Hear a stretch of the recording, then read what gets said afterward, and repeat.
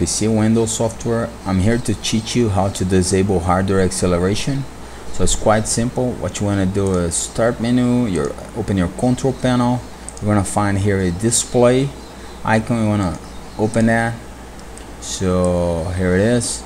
Uh, the appearance of this dialog is going to change a little bit between Windows XP, Windows Vista and Windows 7 but uh, basically it's the same principle so when you get to it all you want to do is click here the settings tab. You're going to find either a button or a link that says advanced. You want to click that and then you're going to find a tab that says troubleshoot.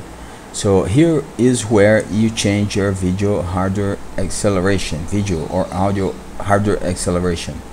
Uh, to turn it off all you gotta do is put it here uh, and none uh, and uh, apply. Just okay and uh, click OK again. And your hardware acceleration will be turned off. Now that's pretty simple. Why you want to do that? Uh, because sometimes when you want to record something on your screen you get blank results. It's because Windows is using the hardware acceleration. So uh, by turning it off you will be able to record anything that goes on on your desktop screen thank you for watching. Uh, see you next time